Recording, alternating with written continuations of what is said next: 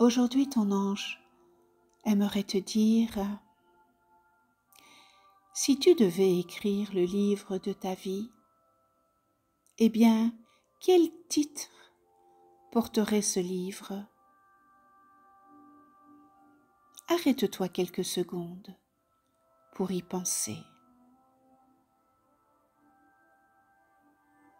Y aurait-il un sous-titre? Qui en serait l'auteur? Toi? Un collaborateur? Ou une collaboratrice? Assumerais-tu un nom de plume?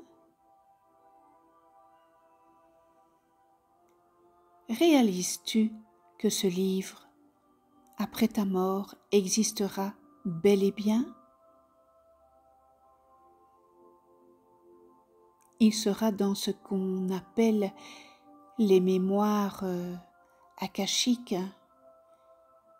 quand tu te retrouveras dans cette autre dimension, eh bien, tu devras relire ce livre pour t'aider à comprendre le sens de ton passage sur Terre. Tout ce que tu auras fait sur Terre y sera inscrit. Chaque situation de ta vie constitue, eh bien, un chapitre de ce livre. Mais tu peux commencer, déjà sur Terre, à essayer de saisir, eh bien, l'essence de ta vie. Tu peux en écrire une partie, enfin, celle que tu crois comprendre au moment où tu l'écris. Pour le reste, tu le comprendras lorsque tu seras mort ou morte avec ta pleine conscience. Les chapitres de ton livre ne doivent pas nécessairement relater des drames. Il peut aussi y avoir des chapitres de contes de fées, des pages où l'histoire eh bien, se déroule dans une belle atmosphère de plaisir et de joie. Petit exercice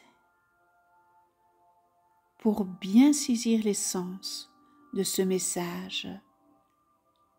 Je te propose l'exercice suivant. Prends quelques feuilles blanches et choisis un chapitre de ta vie. Commence par écrire l'histoire de ce que tu as vécu. Quand tu auras terminé, eh bien, donne un titre à ce chapitre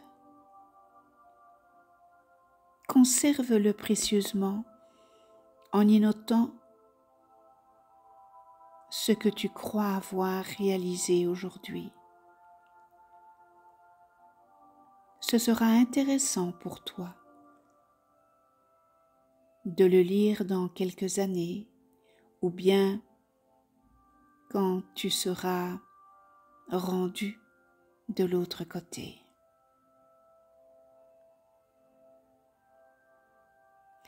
Connais-toi toi-même et tu connaîtras l'univers. Douze pensées angéliques.